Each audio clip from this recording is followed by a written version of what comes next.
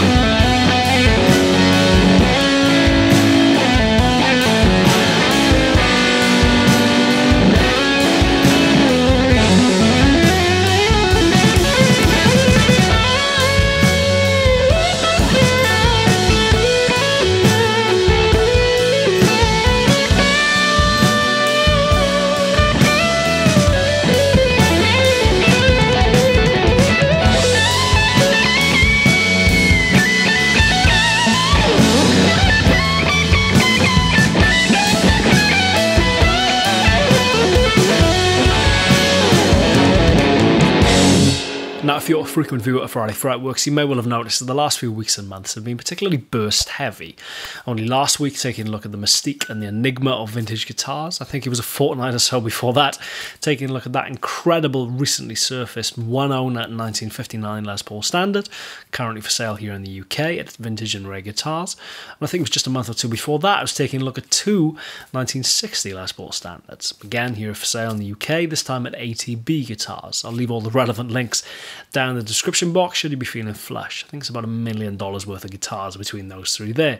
So you'll need fairly deep pockets. But one guitar that's been fairly conspicuous in its absence throughout this entire period has been, of course, my own burst. A 1980 Greco Super Real. Those of you who've been here a little while may remember the first video I did on that guitar, having recently bought it, way back in March of 2021. It was a guitar I saw and kind of lusted after quite a while, having seen it on Instagram in 2019 initially, and then early in 2021, there it was again, this time for sale. So I snagged it. And as much as that guitar always ticked a hell of a lot of boxes for me, aesthetically as much as anything, there's no point in denying that wasn't a massive factor in me having purchased it it wasn't without its issues, which is why for the last few months it's been with a man whose name you may recognise from the incredible restoration of my 1962 Stratocaster, Mr. Huw Price. And as much as I guess visually not much has changed about this guitar, I'm sure Huw would attest to the fact that it has been quite the job. So, what has changed?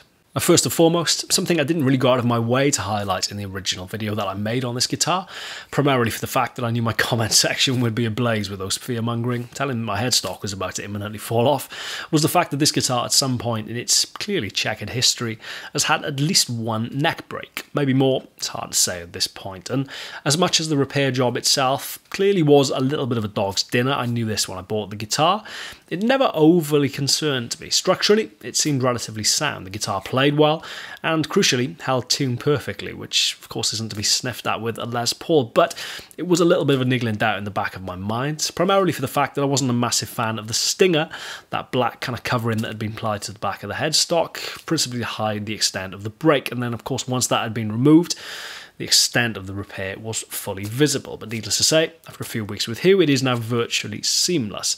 The first step in the process, after assessing the strength of that initial repair, was to sand and strip the back and sides of the headstock and apply a mahogany veneer using a vacuum press. After then removing the remnants of some kind of seemingly soft filler from the previous repair job, then filled the open cracks using mahogany dust mixed with West Systems epoxy before then recarving the volute with a view losing the veneer edges, by which point point, not only was the repair infinitely more kind of tidy, I guess, for want of a better phrase, very Welsh phrase, but no doubt structurally stronger.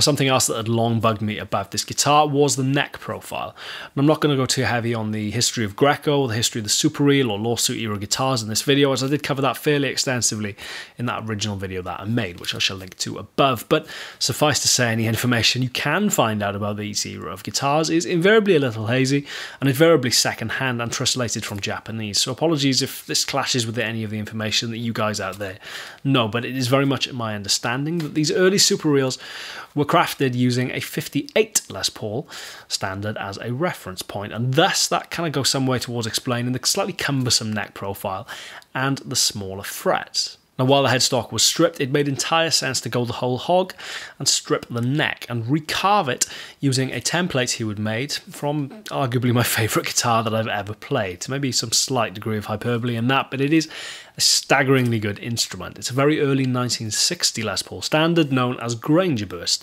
so named after its kind of long-time owner, famed session player Gary Granger, who then sold it to a very good friend of mine, Mr. Andrew Raymond, who's been kind enough to give me kind of fairly good access to that guitar over the years, enough to let me fall in love with it anyway.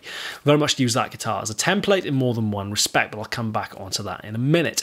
Now, in regard to recarving the neck profile, once that was done, red grain filler was applied, followed by a cherry lacquer, going suitably heavier on the volute to mask the repair somewhat, and on the heel to help aid that colour blend back into the body, which we'd left untouched. All that was left to do then was to reapply the original Greco serial number, which thanks to their numbering system, much in the same way as Gibson's uses the year as the first digit. So at this point, I'm either in custody of a 1980 Greco Super Real or a 1960 Les Paul Standard. I'll let you be the judge of that one. The last thing then being to apply some tinted clear top coat before polishing the guitar to a high gloss.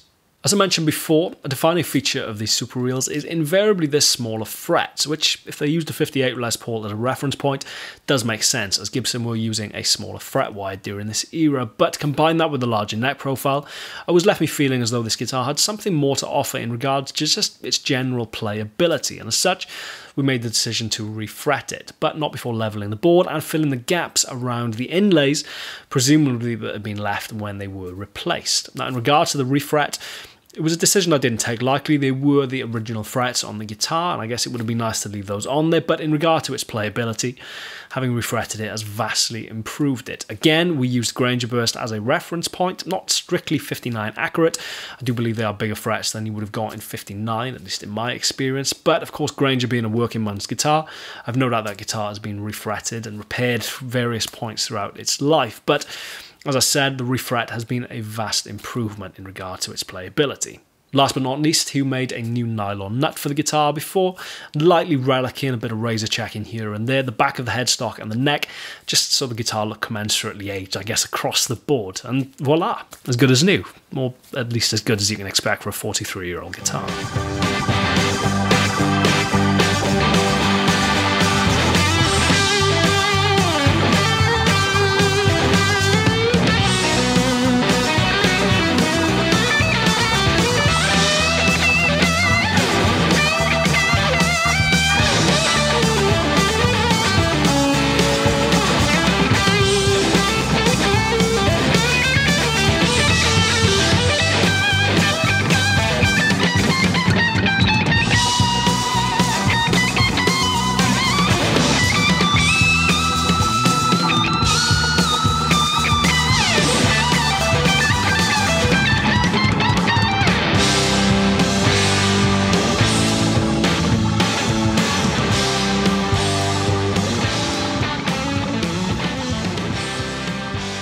Again, those who keep semi-regular tabs on Friday Fretworks probably will have seen me using this guitar as a little bit of a guinea pig or kind of testing bench, I guess, switching in and out different sets of PAF style pickups over the last two years.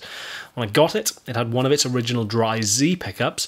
That could be a video into itself, honestly, on the Fable Dry Z pickups. It's a very interesting story. They were manufactured by Maxon and highly revered and very expensive these days as well, as I've just found out having a quick look on Reverb, and one of its original dry Zs and a replacement Wizz. Since then, I've chopped and changed a couple of different sets. I put a set of Throbaks in there, of course, very well respected. I made a video on that. He's had a set of Monties in there and currently has a set of Sunbears, which I do really like. I want to do a little bit more chopping and changing in regards to the pickups, so I'll kind of make an update video on that, no doubt, in the future. But one thing I definitely think is going to be worth a video unto itself is a relatively quick, simple, cheap change that I made entirely at Huw's behest, which exceeded all my expectations in regard to how much it would actually affect the tonality of the guitar, not just acoustically, but crucially electrically. And that is experimenting with different bridges and tailpieces. Honestly blew my mind, so that'll definitely be an upcoming video in the next few weeks. So what are my final thoughts on this guitar? Now I guess it's as nearest to completion as it ever has been. Honestly, I love it. I always have done. I guess there were just one or two niggles in the back of my mind in regard to feeling like this guitar had more to give than I was currently getting out of it. I guess first and foremost it's testament to the level of Huw's craftsmanship that all things told, a relatively simple change like a neck carve can totally transform a guitar. Couple that with a refret, again, just making it that much easier to play. The difference is night and day. I don't know whether this guitar sounds better or whether that is purely psychosomatic, given that it is that much easier to play now and it's just drawing different stuff out of me. But it, it is about as drastic a change as you could ever do to a guitar. And again, it's testament to its craftsmanship that the neck is now virtually indistinguishable from the guitar on which it was based on. It's a very, very impressive job. It's also worth mentioning that the electronics were upgraded, although initially for strange reasons, I guess. The pots in there were absolutely fine. They were the original pots, and I think to the correct spec as well, vintage correct spec anyway. But they were done to the original Japanese metric system, which made getting aftermarket knobs more accurate to a burst an absolute bloody nightmare. So we stuck in a set of bare knuckle 550k pots, which again I would say is an upgrade definitely worth doing. Overall, very, very impressed by this guitar, needless to say, in case you hadn't guessed already.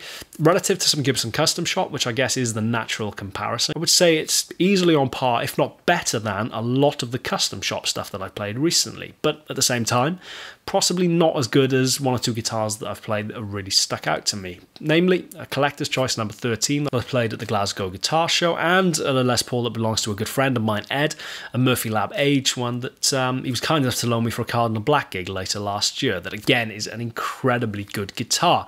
But I guess both of those would probably set you back anywhere in the region of eight, eight and a half, nine thousand pounds. So not really a fair comparison to my humble Greco in that respect. But actually, come to think of it, that last Les Paul had a set of PAFs fitted as well. So that's really not a fair comparison. But um, honestly, I'm just excited to to finally get this Greco out on the road. I've never really used it much in the heat of battle. As I said, there were always one or two niggles in the back of my mind as to feeling like this guitar had slightly more that it could offer and wanting to get it to a point where it was as good as it could be before I really put it to the test. So uh, with so many dates coming up, plug plug, all of our tour dates down in the description box. There's quite a lot coming up, especially throughout April, May, and the summer.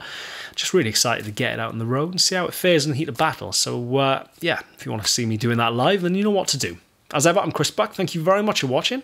Please subscribe, hit the bell icon if you haven't already, and I shall see you next week for probably decidedly less less Paul burst orientated episode with any luck. Cheers, guys. I'll see you soon.